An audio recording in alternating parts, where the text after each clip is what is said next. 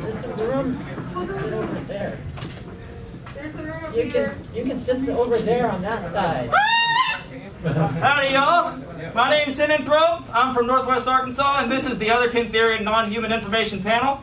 If you're not looking for this, you're in the wrong room, and you might want to get out of here because it's going to get a little bit weird. All right. So my name's Sinanthrope, or Sin, or Tila. I have a bunch of different names. I'm from Northwest Arkansas, from the Ozarks. Um, I'm, a south, I'm a southeastern coyote Therian, which is this sort of get-up that I have on today. I'm also an Amaran Fictotherian, SCP-2547 fiction kin, and I've been non-human since 2016. Those are sort of big words. We'll get into that. All right. Uh, so what is non-humanity? Otherkin itself, uh, so otherkin is sort of an umbrella term that envelops uh, anybody that believes that they're non-human on a non-physical level. Some people might contest on that. The other otherkin community sort of bickers about um, a lot of definitions and stuff. So, but generally, umbrella term. Uh, Therian is a Therian is somebody that has an earthly sense of identity. Um, so be it like an animal, um, some mythical creature like a chimera or something like that, or something else. Uh, fiction kin is somebody that believes they are a fictional character or a fictional species on a non-physical level. So you could identify as Nagito Komaeda or something, or you could identify as an entire um, species with, uh, sorry, an entire fictional species. Um, member of a fictional species, let me get that right. Uh, non-human is also a sort of umbrella term that encompasses anybody who identifies as something non-human on a non-physical level. It's important to note that this is always non-physical, otherwise you'd go into the realms of clinical lycanthropy, which is something you kind of need help for. So, um, non-human symbolism. So, this one on the right, this is, me get this thing on. This thing, uh, this is the septagram, which is uh, also known as the Elf Star, Fae Star, other things. Uh, it was originally put into place and started use by the Elf Queen's daughters back in 1972 through about 1969. Nobody really knows exactly when it was. Um, but that's sort of like the modern otherkin symbol for today. Uh, this one right here is the Theta Delta symbol. That is the one that Therians use. Uh, the Theta literally just stands for the TH in Therian. Um, whereas the delta part of it stands for change and shifting, like stuff like that, which we're going to get into as well. Uh, this right up here, the theta delta right here, is something you might see in somebody's Twitter bio, their uh, name or something. That's a sort, a sort of a shorthand to denote whether you're Therian or not. So, um, anything else I have to talk about? Oh, and this that I, I forgot about every time I rehearse this panel. Uh, this is the non-human unity flag. I created this back in May 9th, 2020. Um, it combines both the, theor- uh, the Therian and theta delta and the other septagram uh, into a sort of unity thing. It's called the non-human unity flag. Uh, it's supposed to be rec- uh, recognize unity between all three, uh, most of the communities. The green on the flag stands for Earth people with Earth identities or other animal-like identities. The white stands for anybody with any sort of non-human identity, and the purple stands for, for other kin. Excuse me while I adjust my mask, because this thing keeps on slipping down. It's going to get annoying if it goes on. All right and agency of identification. So, agency of identification is sort of why somebody would identify as a Therian. Um, so, some people might believe that it's a spiritual thing for them, like you might be put in the wrong body. Um, say you're not supposed to be in this body and you're a coyote. Never heard of that before. Um, but, uh, and then there's also psychological, which is identity born of imprinting. So, you watch too many dog cartoons as a kid, that gets in your brain and just sort of rots your brain from the inside out until you're just basically an animal. Um, and then there's other, a wide range of other experiences like experiential, philosophical, behavioral, emotional, etc. That just goes on forever and ever because every single person's identity and experience is different. And it's good to be able to respect that. So. Uh, shifting and what it feels like. Shifting is a little bit hard to explain, but it's something that happens to some Therians and not others. Uh, phantom shifting is about the same phenomenon as phantom limb syndrome. So if you ever get like an arm cut off or something like that, if somebody were to hit that, whenever the limb's actually not there, somebody might, an amputee might feel that. It's a very similar thing for Therians, but instead of a limb being lost, it's sort of like the map of where that would have been. Um, so it kind of feels like if you have paws or something, it kind of feels like light clothing over that, or like you're wearing a fursuit glove. Hi, Red. um, and then there's physical shifting. Wait, no, sorry. Let me get over mental shifting first. Um, so mental shifting is even harder to explain. It's a temporary change in mindset to thinking more instinctually as your kin type would. Uh, it can range from like non-verbal behavior and stuff like that. It's basically whatever. You, so if you've ever been in the pup community or anything, it's basically the same thing as pup headspace. It's a lot like that. Um, and then there's physical shifting, which unfortunately is not at all possible. You cannot turn into, into an actual animal as much as I wish I could. So, um, yeah. Uh, as for the other ones, they can both be involuntary invol- and involuntary. It's sort of hard to trigger shifts until you've done them enough, because you sort of don't forge those neural pathways in your head into how that sort of stuff feels. Um, there's other experiences that could be related to that, but I'm not going to say them because they're not. That's not suited for an 18, ugh, not 18 panel. All right. And then subcategories of identity. This is sort of getting into the niche nitty gritty stuff. You'll probably hear these terms a few times if you're ever in the community. It's good to go over them just so you know them. Uh, is somebody that does not experience mental shifts and is always in a constant state between human and animal mentally, but this does not change, which is the only difference between that and Sun Therians or Vassalent Therians who are on a sliding scale between human and animal mentally, and uh, shifts do not occur as suddenly as it would be if you were just a regular Therian. So, uh, Cladotherian is somebody that identifies as a clade of animals. So, say you feel like you're every single domestic dog, um, or if you feel like you might be just generally a tiger. It's kind of hard to pin that sort of stuff down sometimes. Uh, polykin refers to somebody that has more than one kin type. I'm that because I'm like 40 different things. Um, and then there's also Fictotherians, which I also am, member who identifies, somebody who identifies as a member of a fictional species. Um, my other identity is, well, one of three. My other identity is uh, an Amaran, which is a species of fox, like an anthrofox from the Star Wars universe. So it's created by Furry. It's pretty cool. Um, it's extended universe though. So, and then Mytherian is somebody that identifies as a mythical creature. Um, this differentiate. Some people might want to make this differentiation whenever they're referring to themselves as a Therian because it might make them more comfortable or something. But it's not really needed.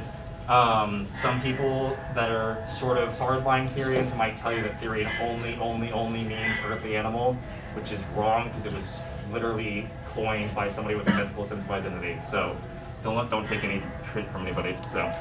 Um, kinning versus other kin. So, this is a little bit difficult to get into. Um, is relating to a character or using them otherwise to portray yourself online, which is different than other kin. So, if you've ever heard anybody say I kin something, it may or may not have been other kin. And that sort of becomes an issue whenever you're talking about stuff like this. It's kind of difficult to determine, determine what vocabulary you're using to identify to refer to what. So somebody says, "Oh, I'm Nagito Komaeda," and you're like, "Oh, I am somebody else from the Danganronpa franchise. that knew them." It's like I would like to like communicate with you about stuff. It's like, oh, I'm not actually that much relate to them. And that sort of becomes a little bit of a risk because you can't identify who's other kin and who's kinning. So that's something to note. Um, but we have created vocabulary so that people you can uh, so that you can differentiate between people who are kinning and people who are actually other kin. Some of those inf- some of those um, definitions include other-hearted, which is a strong or fundamental connection to a being. Um, so like say you feel like you would have been or like gotten along with like Krypto the Super Dog or something like that, that would be other-hearted. Uh, coping link is a voluntary identity with any with an, as or with an entity for coping reasons. So this would be a voluntary identity, whereas other kin is heavy disclaimer, mostly involuntary. Some people do voluntarily identify as other kin. I'm not going to police anything here. So, um, sympath refers to people that heavily relate, heavily, heavily relate to, uh, but no, do not identify as a fictional character. So, um, after that is how to know if you're non-human. This is also a really, really big question, and this takes a lot of introspection uh, to actually figure this out. But in my opinion, non-humanity is largely about the self-actualization between you, your environment, and like the experiences and how you live it, and like what you live in, and what makes you you. So, did you feel strangely at home when playing the dog in house as a kid? Uh, did you feel like just seeing a person transform into an animal in a movie make you incredibly jealous? Um, is do you just like wish that werewolves would just come sweep you out of the forest and make you one of their own and just live there forever?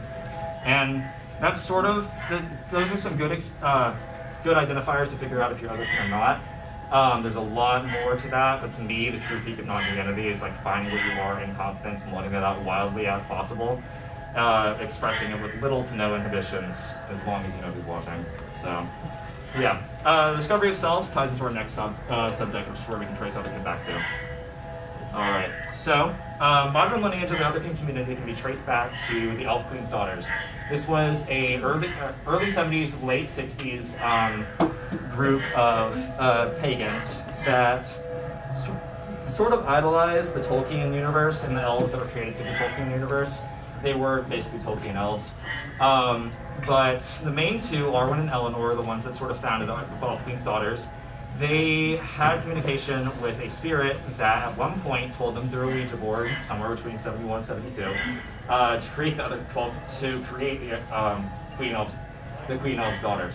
So, seeing that the other kin community can kind of be traced back to that moment, and if that hadn't happened, we wouldn't be here today, which is kind of cool. Um, but they began publishing uh, stuff in the, or just the Elven Magic Love Letters in the Green Egg, Green Egg Pagan magazine, which was a, a magazine at the time. Um, and there was one person, Zardoa, who had previously lived with another elf that he was married to and then wasn't. Um, and they, uh, he didn't really pick up on the fact that he was an elf to begin with, but sort of had inclinations to the fact that, hey, I think there's something else a little bit off about me. So he found out about the Queen Elf's daughters and local vortices, which is the elven word for covens, uh, around him. And he went to one of the local vortices. And this sounds like a whole fantasy world. This was happening in Illinois. Like, so, um, but he went to look one of the local vortices, and in one of those vortices, he met like the original Queen Elf's daughters. And upon, let me read this correctly off. Uh, and upon finally reaching and like conversing with other elves about how like what it feels like to be elvish, they finally clicked for him that this is what he's been waiting for his entire life, and he broke down crying because he knew that's what he was. And I think that's a very reasonable, sorry, not reasonable, a very relatable experience for most other kinks. I can like, I know most people have had a very similar experience to that. So just that intense feeling of knowing what you are suddenly. It doesn't have to be that, but you might just know what you are the entire time.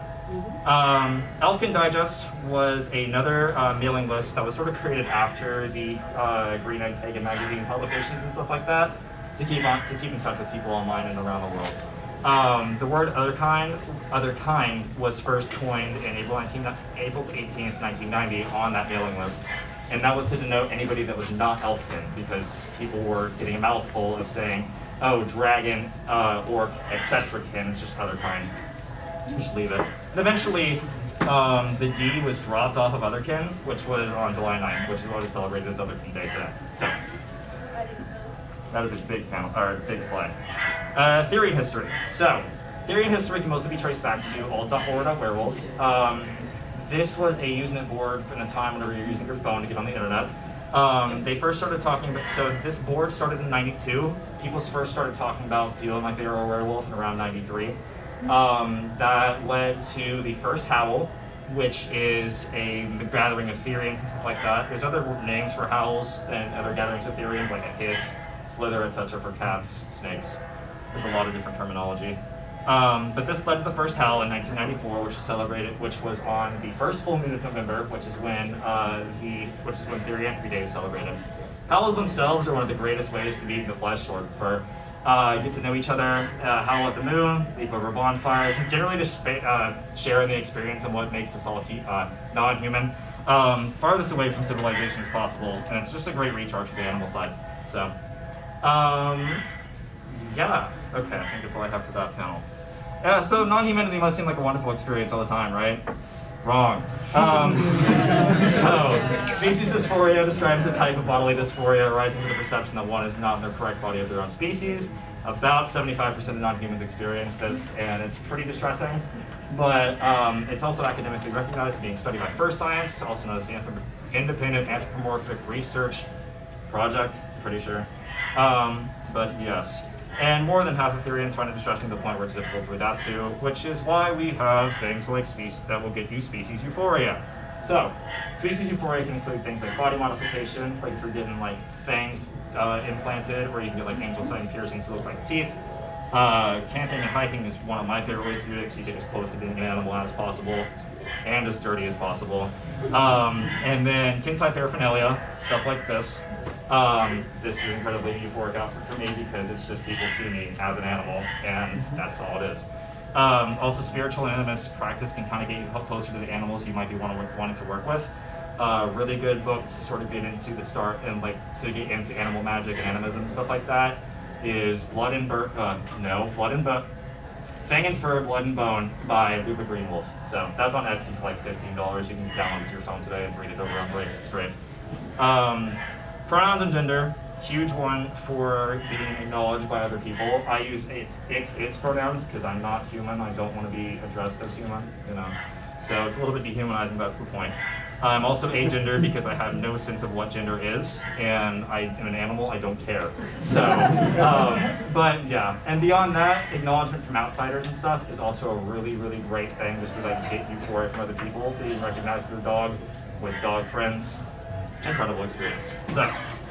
Uh, community warnings. So this is not a fun panel. To, this is not a fun slide to make, but I think it's important. Uh, Therian Guide is one of the largest forums on the internet at the moment, and they have been known throughout the community for both cases of sexual, uh, animal sexual abuse and child sexual abuse, as well as racism, transphobia from both the moderators from the site. I can attest to this personally. If you guys need the card link or whatever, catch me outside of here and I can get it to you so you can actually see what's going on there. Uh, Razgriz is a little bit of an older cult, um, which is weird to say. But Razgriz, Razgriz is a shifter cult that believes you can physically shift um, and has written shifting Oh, manuals to where you can like, progressively shift more parts of your body that include physical harm. So don't do that, please. Um, and there's also other P shifting cults like that. But in general, if you ever join a group and they're trying to force you to accept their ways and in turn from accept- acceptance from them, run away. Do not interact with people. Other good communities, though. So, Non-Human National Park is a forum that is run by two of my friends, House of Chimeras and uh, Who's Page. I love them both very much, and they've done a great job with making that a community. It's got some great, uh, great discussions and stuff to go on on it. Um, Otherkin Twit, um, which is a hashtag that I didn't really create, but sort of spawned and I took advantage of, um, is something you can find a lot of people tweeting on. Uh, at Otherkin Twit is something that I do run. That's basically just a mirror of the Otherkin, uh, the hashtag Otherkin, uh, hashtag Otherkin Twit, hashtag Therian, and etc. Um, there's also Discord servers and stuff you can go to. Uh, Tumblr has a ton of really cool Otherkin on it as well. It's very chill. And othercon.org is an online convention that I help run, and I'm sort of the voice of. So I highly suggest you guys go there as well. It's great to have some like really in-depth panels about Therian and topics. And they also have a YouTube channel, so if you go to othercon on YouTube, it'll show up. Uh, and shameless self-plug. I'm SCP-2547 on Twitter if you want to follow me. I talk about otherkin stuff in insane amounts. I need to get my brain out of my phone. Um, but that's never going to happen. But yeah, other than that, my bibliography. I do need to note um. The Otherkin timeline by Orion Scribner, huge help in making all of this. So I credit a lot of that to Orion Scribner. She also has, uh, they also have a um, series of comics called Very There, which really, really reflects some really great um, Otherkin feelings. So I would highly suggest checking those out.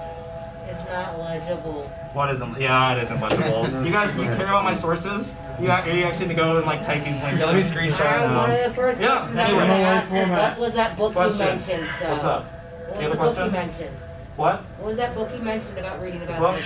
Uh, Blood and uh, Fang and Fur, Blood and Bone by Lupa Greenwolf. What's up? Um, I think I speak for everybody in here. Like, I want to be able to connect with someone on a soul level. Uh huh. And whenever I hop on Tinder, like in full costume, like I'm just getting rejected by baddies like Oh my left god, and right. same. So like, is there a Tinder for like people like furries where like you know we can match and stuff I mean, like Bark that? is a thing. The closest you BAR got is. Bark. Yeah, it's about How does that Yeah. work? They are It's, It's on the App Store. We're just like- on the app App store. It, it connects to your Telegram and stuff. So Any other questions? See, I'm not a I'm not a dog. What's up? Where, where, where would I obtain a flag like that?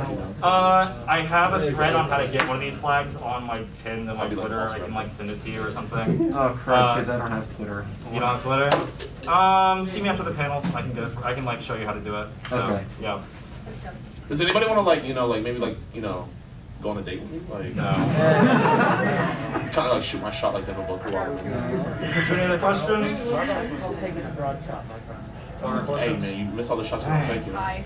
Uh, You're right. I don't blame you. I give you more credit than me for saying it out in the open. I couldn't do that. What's up? I'm, I'm gonna just bounce out there. You're braver than I am. I am. don't see a lot of panels like this, and I think it's probably because there's a lot of fear of persecution and Yeah. um, mistreatment. Any advice do you have for other people who about like connecting with others? Yeah. So the question was, um, I feel like a lot of panels like this come under scrutiny because it feels like there's a lot of fear of uh, persecution, and that's why people don't see these panels as much. Honestly, I have gone out in the forest in this thing, and the most people call me is a raccoon. So it's wrong, but at least it's not being called something bad. So um, most of the time, I don't really have any issue with people. So I just live like live life free if you feel like you can. So.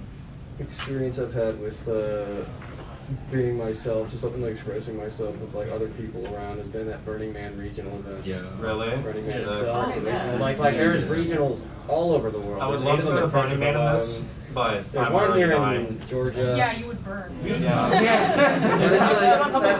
98 degrees. I mean, I mean, Sin, just take out everything. I, I go, I go, There. I go openly Therian, and like I, I tell everyone about it. I educate people, Yeah, and they and are. I feel like in a lot of places most- like that, people are more open-minded about being Therian and stuff like Yeah, that. talking they are the most Burning widely validated community I've ever met in my life. Man. Incredibly. What's up? Who'd I thought about your panel, your presentation.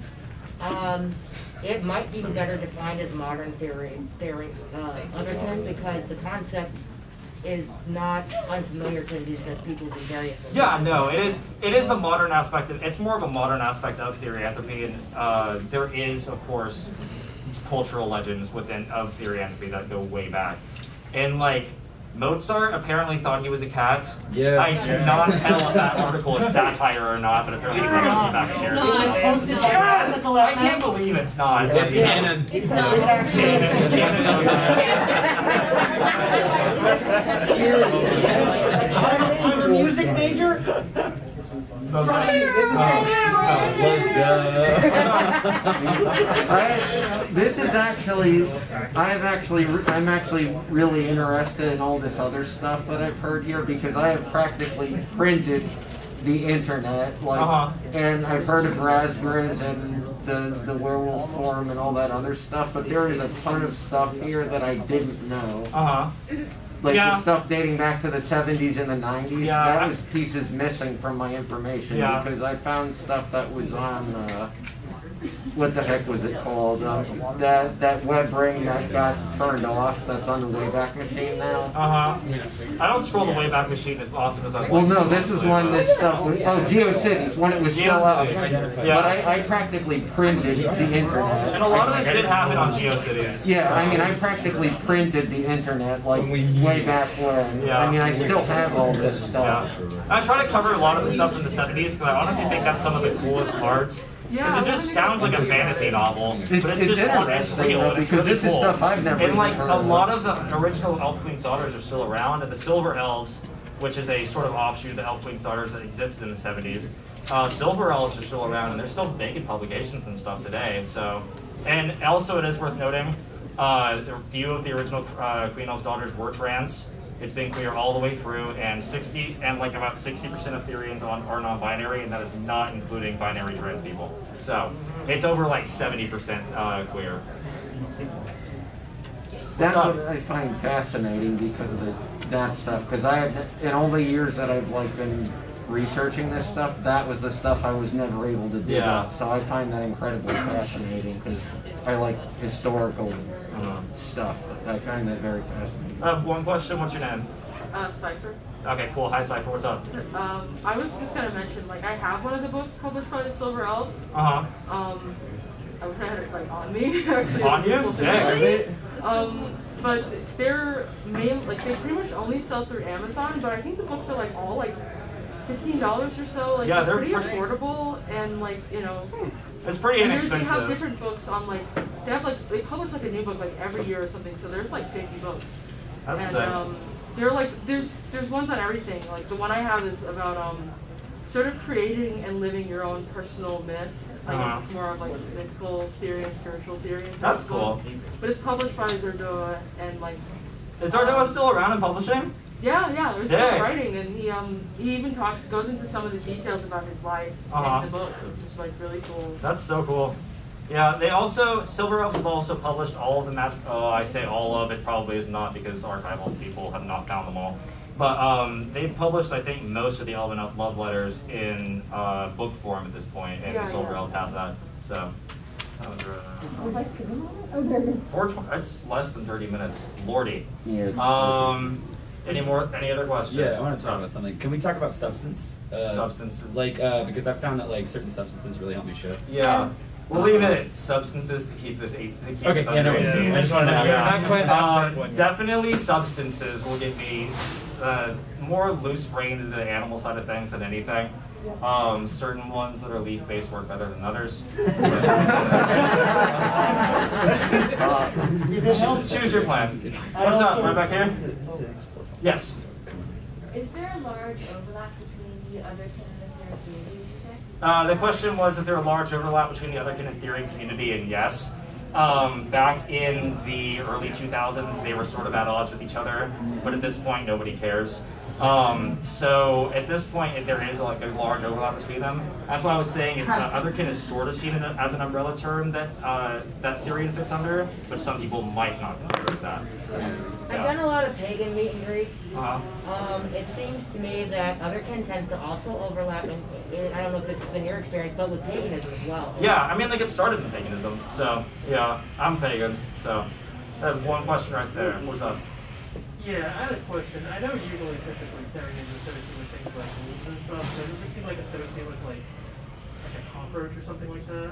I've seen. So the question was, I understand that Therians usually identify, I, identify as wolves and stuff like that. But is there anybody that's been a cockroach? I've seen a bee. I've seen a fly. I think. Um, there's some wacky ones out there. Not wacky, but you know what I'm saying. Just sort of out, Unusual. outworld ones. Yeah. Um, that would be that I have met. So I could say yes. Yeah. All right. Anybody else? What's up? I just wanted to like put it out there. Like, has anyone like heard of any like howls that are in the sort of Florida or Georgia kind of like Howls? I would. So uh, how I've was heard it? it on like an old forum. It's like, oh, there are a lot of Therians in Florida. I'm like, I live there. Where are they? Hello. Yeah, exactly. Everything- Everything is from like 2014 because you know. I haven't been able to find. I know one in the theories Jacks area. Are you in Jacksonville? No. I was gonna say they're here if you want to meet them, but yeah. Oh, that's cool though. Yeah. I need to find them in New York. Yeah. Yeah, like I want to go to a house. Any other questions? I'd like to go to one too. I've never been able to. I wanna have a a howl moment? at some I need to know who your maker is. Made for you. When there was one around, Stop. I couldn't Not a drive question, yet. just giving a totally unbiased opinion that coyotes are the best. Yeah. Coyotes are the best. I've never met a coyote I didn't like, so I can't argue. Yeah, maybe. We're just such lovable scams. They're all like, hmm?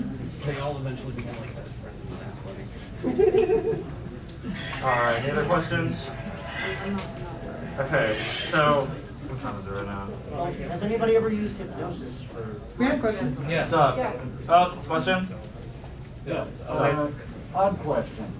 You mentioned spatial dysphoria, species dysphoria. Uh-huh. Do you have any information on how far along the research into that is? Uh, I do not, but I do know people that are members of the research group. Um, I don't know where it is on it, but I do. There is some statistics that Furscience has taken out for conventions. I think that does show how many people that have species It always dysphoria seems about. like the website that I pull up when I search for Furscience is a little bit like not super active and not being updated. Is Yeah, there a I- resource for them? I think it. I, it might, I think it might be a, iarp.org. I'm not entirely sure. It's either Furscience or the Independent Anthropomorphic Research Project. Find it under either of those. See, I, I ask because I spoke with a psychiatrist about 10 years ago Uh-huh. uh, about, well, it was about that, uh, about, about that topic specifically, and they said they personally were very hopeful that it would be recognized, but it could be 15 to 20 years off before the larger medical community will even Yeah. consider that. Yeah, given a lot of what people just consider a mental illness and throw to the side, therianthropy is probably going to fall into the bus at some point. Um, I do know that there are several cases of people that were actually clinical lycanthropes. I'll get into what that is in a second. But people that were clinical lycanthropes that are literally just textbook Therians. So, uh, clinical lycanthropy is a uh, is a mental illness to where you actually have the delusion that you are a werewolf and that you like are actually transforming into one um, instead of the like the knowledge that you still are physically human. So um, there are levels of it as well. The second there's the so secondary clinical lycanthropy is where you just see yourself as one, which I'm kind of jealous of. I will be honest. But um, you like will see yourself the a werewolf, but still understand that's not actually reality. So um, I've known a few people that identified as Therians that had that experience as well. So there's also visual shifting, which I've heard people experience once or twice. I've never had it happen to me before.